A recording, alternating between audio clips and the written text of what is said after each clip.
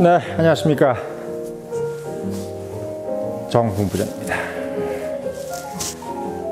네, 오늘 시간이, 예, 아, 지금 9시 좀안 됐습니다. 제가 8시 한 20분에 출발했어요. 예, 오늘 김 국장이 갑자기 화급하게 우리 그 구독자 500명이 넘었, 넘었다는 걸 이유로 해서 오늘 지금 여기서 만나서 아, 축하 파티를 하기로 했기 때문에 제가 8시 20분에 화급하게 왔습니다. 보통 우리가 제가 이제 9시 한 20분쯤 이제 방송을 하는데, 예, 9시에 딱 출발해가지고, 예, 오늘 좀 일찍 시작을 했습니다. 자, 오늘, 아, 드리고 싶은 얘기는, 어, 뭐, 여러분들 잘 아시겠지만 제가 이제 뭐 네이버라든지, 어? 뭐 이런데 이게 딱 검색해서 잘 안 나온 얘기만 좀 말씀을 드리잖아요. 왜 그러냐면, 일일이 그런 거 찾아보고 힘드니까, 예, 청, 청년의 힘을 보면서 여러분들이 이제 그 상식을 좀 키우라, 이런 의미에서 제가 어, 소화를 시켜가면서 말씀을 드리는 거예요. 제가 오늘 제목을 007이 왜 대중한테 사랑을 받게 됐느냐 이 얘기를 한번 한 20분 정도 짧게 한 말씀을 좀 드리겠습니다. 제가 말씀드리는 것은 나중에 다 이게 취업 같은 데서 면접을 볼 때 아주 요긴하게 쓸 수 있는 건데 지금 이제 보시는 분들이 대부분 이제 중고 대학생들이잖아요. 예. 요즘엔 보니까 이제 학부모들이 더 많이 보는 것 같아요. 지금 시청자분들이 40대, 50대가 더 많다는데, 아, 지금 뭐 감사하게 그러십니다. 뭐 부모님들이 보아도 좋죠. 자, 007. 사실 이게 왜 그러냐면, 왜 이제 007 얘기를 하냐면, 제가 저번에 이제, 아, 존 르칼레, 어, 존 르칼레라고 이제 영국, 어, 첩보물의 그 양대 산맥이죠. 어, 이안 플레밍, 007의 어, 저자 이안 플레밍, 그리고 어, 존 르칼레. 여러분들이 알고 Tinker, Tailor, Soldier, 어, 스파이. 예, Tinker, Tailor, Soldier Spy라고 하는 그 대한민국에서 이제 그 게리 올드만이 주연했던 아주 그냥 어마무시하게 매니아가 많은 아, 영화죠. 음, 그 영화의 원작자, 예, 바로 존 르, 잔 르 칼레입니다. 예, 약간 프랑스 말로 썼어요. 원래 이름은 이제 영국어인데 어, 본인이 지금 영국 정보부에서 일을 하고 있는 상황이기 때문에 어, 본명을 쓰면 안 된다. 그래서 이제 필명을 써가지고 잔 르 칼레입니다. 근데 지금 한국에서는 잔 르 칼레로 더 유명하고 본명은 잘 몰라요. 예. 어, 이안 플레밍은 본명입니다. 음, 이안 플레밍, 그 플레밍가에서 아주 유명한 플레밍가 자체가 상당히 명문가문이고 어, 거기서 어, 이안 플레밍은 어, 썩 그렇게 잘 나가지 못했던 사람인 거죠. 음, 아무튼 이제 이안 플레밍은 007로 뭐 플레밍가에 어떤 사람들이 잘 나가는지 모르겠지만 아, 가장 잘 나간 사람이 됐어요. 예, 전후 2차 세계대전 이후에 아, 가장 어, 위대한 영국 작가 순위에서 이안 플레밍은 무려 14위입니다. 예, 14위. 그리고 잔 르칼레는 어, 좀그 순위가 좀 밀리더라고요. 예, 한 20위권 밖으로 밀려버립니다. 그래서 어, 매니아층은 잔 르칼레가 훨씬 많고, 예, 그리고 이제 대중성은 이안 플레밍이 월등하다. 이렇게 보면 되는데, 그 대중성이 월등한 그 이안 플레밍이 쓴 영화가 바로 007인 거. 영화가 그 영화를 만든 게 이제 007인 거죠. 어, 두 사람이 왜 제가 이제 비교를 하냐면 바로 이게 성공하는 이유란 거죠. 그 유명해진 이유라는 겁니다. 그러니까, 그러니까 이안 플레밍이 쓴 007이 어, 유명해진 가장 큰 이유 바로 쉽다는 거예요. 예, 쉽다. 그러니까 여러분들 생각할 때는 이게 멋있고 뭔가 이렇게 멋있고 이게 막 지금 추리무리 같으면 상당히 스릴 넘치고 말썽달썽하고 뭐 어렵게 이렇게 해야 아, 매니아층이 많을 것 같고 실제로 뭐 또 어떻게 보면은 우리가 이제 첩보물이라 그러면 보고 나서도 뭔 얘기인지 하나도 모르겠고 예를 들면 뭐 얼마 전에 있었던 테넷이라는 영화 있잖아요 영국? 네, 테넷. 그리고 뭐 어, 어, 크리스토퍼 놀란 감독 영화 보면 다 그런 약간 보고 나면 이거 한 세네 번 봐야지 알 것 같은 그런 느낌이 드는 영화들 있잖아요. 뭐 스탑 인터, 인터 인터스텔라 같은 것도 그렇고 어, 미국에서는 거의 흥행을 못했습니다 인터스텔라 같은 거 한국에서만 흥행했어요 그, 어, 어, 바로 그 이유입니다. 그러니까 존 르칼레는 매니아층은 상당한데 어, 잘 몰라요 사람들이. 그리고 그 영화를 저도 옛날에 지금부터 10년 전에 어, Tinker Tinker Soldier Tinker Tailor Soldier Spy를 이름도 어려워요. 그래서 제가 좀 방금 얘기하고 좀 헷갈리잖아요. 이 영화를 봤는데 아, 이해를 못 하겠더라고요. 음, 저같이 약간 대한민국에서 그래도 한 뭐 좀 약간 중산 중류 정도의 지식을 갖고 있는 사람이 아 봐도 이해를 못하겠어요. 예, 그게 바로 어잘 르칼레가 잘 르카, 르칼레 작품들입니다. 자, 그래서 이안 플레밍은 쉽게 쓴 거예요 소설을 상당히 쉽게 썼어요. 예, 그러니까 나오는 내용들이 대부분 뭐냐면 그 실제 없는 얘기들을 썼다고 본인들이 얘기를 해요. 말하자면 뭐냐면 잔 르칼레의 어떤 그 작품은 어, 실제 첩보, 첩보원들이 상당히 이렇게 멋이 없습니다. 뭐 이렇게 정장을 입다, 입는다 거나 뭐 이렇게 그렇게 뭐 스포츠카를 타고 다닌다거나 어, 뭐 총도 이렇게 뭐 여러 가지 막 그 신기술이 들어가 있는 것들 뭐 손목시계는 막 롤렉스고 이런 것들이 아니고 그냥 허름한 어, 바바리 코트 같은 것들을 입고 다니면서 머리는 다 벗겨져 있고 배는 뿔룩 나온 이런 사람들이 실제로는 첩보, 첩보원이다 라고 이제 본인들이 이제 소설에서 쓰고 본인도 그렇게 얘기를 했습니다. 근데 이제 이안 플레밍은 그렇게 묘사를 하지 않았죠. 상당히 멋있게 묘사를 했어요. 예. 뭐 제임스 본드를 거의 뭐 세상에 없는 미남자에다가 응? 아주 멋있는 어, 비싼 수트를 입고 다니는 그런 사람으로 묘사했죠. 일단 그거부터가 아, 아, 대중성의 가장 큰 이유인 거죠. 일단 현실에 없는 얘기를 에, 썼습니다. 예, 그러니까 여러분들이 그걸 좀 아셔야 돼요. 그러니까 실제로는 그렇지 않다는 거죠. 예, 둘째는 뭐냐면 당시가 이제 어떤 시대였냐면 어, 심각한 냉전 시대였죠. 예, 심각한 냉전. 그게 무슨 말이냐? 여기서 냉전은 그냥 냉전이 있고 심각한 냉전이 있습니다. 그러니까 심각한 냉전은 아, 상대를 죽여도 되는 냉전이에요. 시대예요. 그러니까 우리가 예를 들면 북한 사람이라 그래서 어, 그냥 이유도 불문하지 않고 죽일 수 있는 시대가 아, 60년대, 70년대였습니다. 80년대, 90년대만 가면 그렇게 가혹하지가 않고 한 90년쯤 가면은 간첩이라는 단어가 그렇게 무서운 단어가 아니에요. 예, 뭐 그냥 간첩이구나.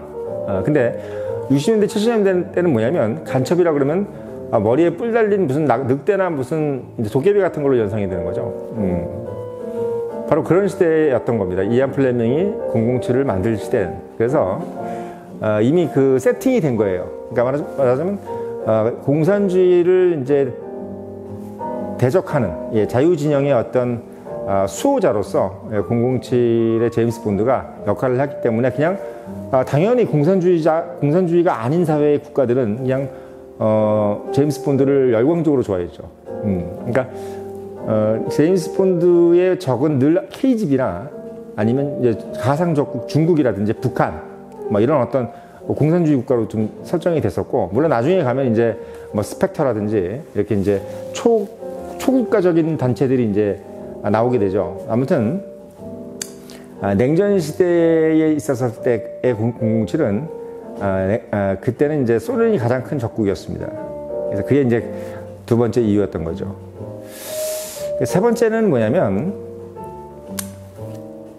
사실 이제 그 방금 얘기했지만 어, 실제 그 첩보 대상자들 우리가 소위 해서 미국 KB, KGB라든지 미국이라든지 영국에 있는 이 첩보원들이 당시에 지금도 물론 이제 훌륭한 인재들이 하고 이제 뭐랄까요? 그 어, 엘리트들이 이제 지원을 해서 이제 들어가지만 어, 20세기 초나 이제 중반 이럴 때는 영국 같은 경우도 마찬가지 MI6 같은 경우는 귀, 거의 귀족들 뭐 케임브리지 출신들의 거의 귀족들, 옥스퍼리 케임브리지 정도의 수준의 뭐 이튼 칼리지를 나오지 않으면 뭐 들어갈 수 없는 상당히 어떤 고급 자재들의 어떤 분들이 들어가는 곳이었습니다. 그러니까 뭐 CIA도 마찬가지고 뭐 지금도 뭐 그런 정도인지는 모르겠는데 아, 당시는 상당했어요. 그래서 상당히 비밀스러운 조직으로 돼 있었고 그리고 또 알 수 없는 조직.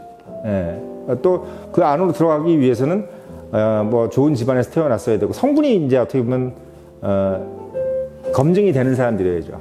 그래서 뭐 아버지든 할아버지든 뭐 그의 뭐, 뭐 대대로 검증이 되는 사람들. 특히나 자본주의 역사가 긴 영국 같은 경우는 뭐 한 300년 대대로 이제 보는 거예요. 아, 어떤 가문은 누구다 해. 어? 이런 식으로.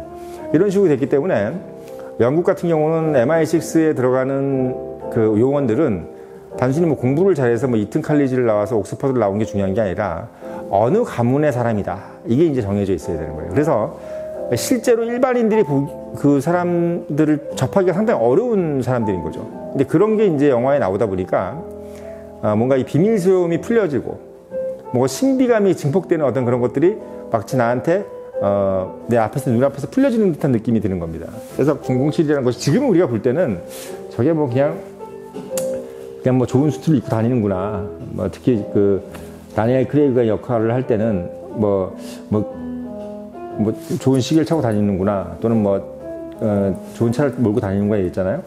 이게 7, 80년대 때만 해도 이렇게 뭐 정, 이 스포카가 돌아다니고 뭐 동네에서 스포츠카가 돌아다니는 것을 전 본 적이 없어요. 동네에서 이 강남 바닥에서도요, 80년대에 한 동네에 벤츠 하나 있었습니다. 벤츠, 그것도 지금 뭐 스포츠카 이게 아니라 그냥 우리가 알고 있는 그 지금 돌아다니는 벤츠 있죠, 이 클래스. 이렇게 한 대 돌아다녔어요. 그러니까, 어, 당신은 이런 어떤 외제차라든지 이런 고급차도 돈이 많다고 해서 타고 다니는 게 아니라 뭔가 검증된 사람들, 어, 뭔가 돈이 많은 것도 떠나서 뭔가 수준, 그, 그 가문이 있는 사람들이 타고 다니는 어떤 그런 개념이었기 때문에 지금은 흔해 빠진 거죠. 뭐, 다, 뭐 다니엘 크레이그가 타고 다니는 애스턴 마틴이라든지 어떤 악당들이 타고 다니는 재규어 스포츠카라든지 어? 뭐 제가 갖고 있는 스포츠카도 마찬가지지만 그런 것들이 예전에는 어, 저, 저도 요즘 어떨 때 놀랄 때가 있어요. 제가 20, 10대 때, 아, 내가 과연 내가, 사, 내가 40대 때 어, 이런 스포츠카라든지 어, 뭐 레인지로바라든지 이런 어떤 뭐 X, 재, 재규어 XJ 이런 것들 세 대나 끌고 내가 어 40대를 누릴 거라고 상상도 못했죠. 예, 어떻게 보면 뭐 집에 무슨 뭐 어, 뭐 이런 어떤 뭐 좋은 그림이 있고 이런 것들이 어, 생각을 못했던 시대였는데 지금 그렇게 시대가 됐지 않습니까? 그러니까 말하자면 지금은 그런 게 별로 이렇게 대단한 게 아니에요. 누구나 다 그렇게 살고 있는 겁니다. 대한민국에서 대부분 사람들이 그렇게 살지 못하지만 그냥 그게 이상하지 않은 거죠. 근데 이제 60, 60년, 70년대는 그게 상당한 어떤 권력이고 어, 위세였단 말이죠. 그래서 그런 부분들이 눈앞에서 막 이제 해결이 되니까 아, 상당히 대중들이 볼 때는 재밌는 겁니다. 근데 이제 방금 아까 말씀드렸지만 존 르칼레가 얘기한 진짜 영국 첩보부는 안 그랬다는 거예요. 그러니까 그런 것처럼 이렇게 막 엄청 과장되게 꾸민 거예요. 근데 실제로 이제 명문 이튼 칼리지라든지 뭐 케임브리지 옥스퍼드를 나온 건 맞고 가문이 상당히 좋은 것도 많은데 그렇게 막 요란스럽게 이제 사치를 부리고 이런 건 아니었, 아니었는데 이제 그렇게 만들어 놓은 거죠. 그것도 또한 어떻게 보면 007이 상당히 어떻게 보면 대중성을 가질 수밖에 없었던 아, 또 이유였습니다.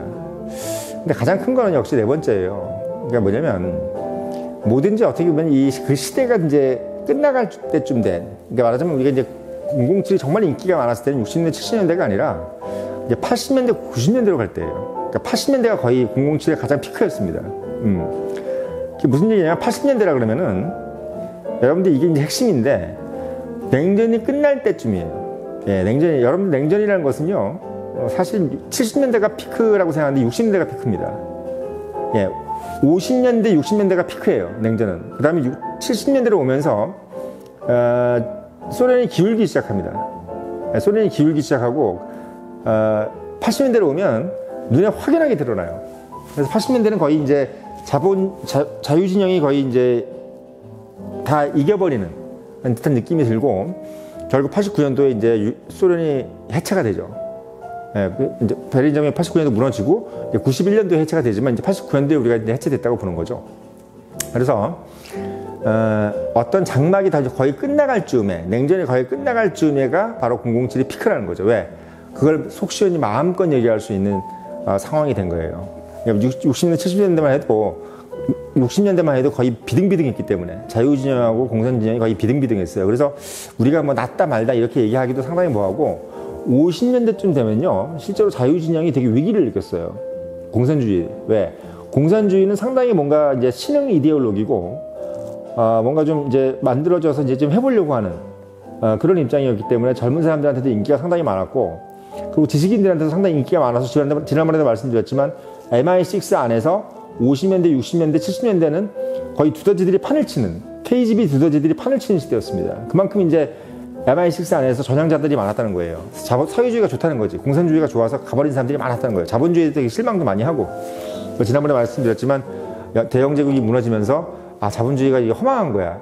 어, 뭐 제국주의라는 것이 상당히 좀 창피하고 뭐 자기 부모들이 해왔던 어떤 그런 뭐 학살이라든지 이런 것들도 보기 싫고 그래서 이제 사회주의로 넘어간 자녀들이 많았습니다.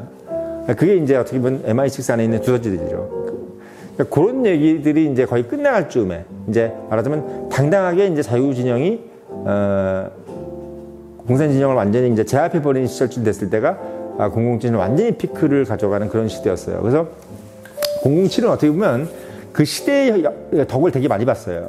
예, 시대의 덕을 많이 봤어요. 만약에 007이 80년대쯤 됐을 때 만약에 어, 미국이 상당히 뭐 쇠퇴를 하고 어, 러시아가 훨씬 더 강해지고 소련이 더 강해졌다 그랬으면 007을 봤을까요 아마 거의 안 봤을 겁니다. 예, 보진 않았겠죠. 왜?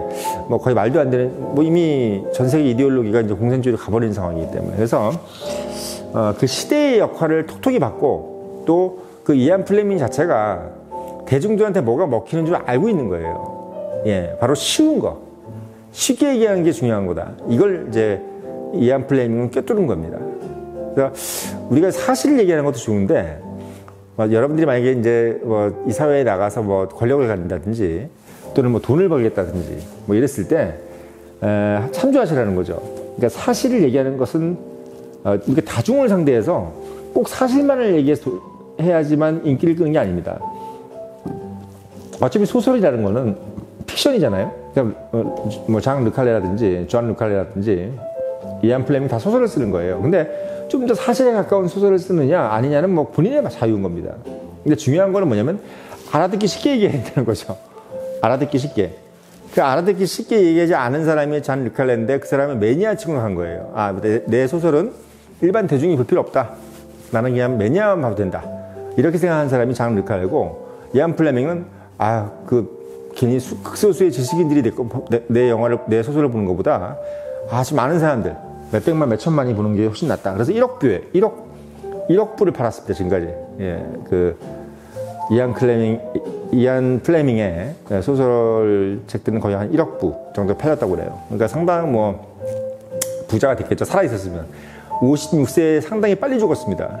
예, 상당히 빨리 죽었어요. 이안 플레밍 같은 경우는 안타깝죠. 예, 1908년에 태어나서 어, 거의 뭐 60년 1960년대쯤 돼서 죽었으니까 아, 상당히 좀 빨리 죽었어요. 반면에 이제 잔 르칼레 같은 경우는 사실만 얘기해서 그런지 오래 살았어요. 거짓말 안 해서 그런지 오래 살았습니다. 그래서 어, 1930년대 태어나서 2020년 재작년에 죽었습니다. 그래서 참 아, 장수를 이렇게 89세까지 살았죠. 음. 그래서 여러분들이 뭐 이 시간에 알아둘 것은 뭐냐면 이안 플레밍의 소설이 왜 성공했느냐 그리고 잔 르칼레라는 사람의 이름 정도는 알아두시라는 거. 예, 잔 르칼레 어려워요. 어, 틴커 테일러 솔저 스파이 어렵습니다. 근데 그 이름 정도는 알아두시고 이게 왜 어려운지 그거는 뭐 본인이 어렵게 썼으니까 어렵죠. 근데 이안 플레밍의 소설 또는 영화는 이래서 성, 성공했다.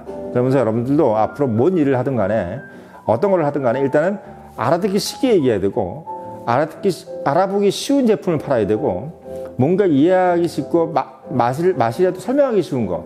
한 단어로 설명할 수 있는 거. 이런 어떤 제품이라든지 이런 먹을 거라든지 이런 모든 product를 그런 거를 팔아야 되고 그런 글을 써야 된다는 거. 요걸 하나 명심해 두시길 바라면서 제가 오늘 이 시간에 어, 이 정도로 좀 마치겠습니다.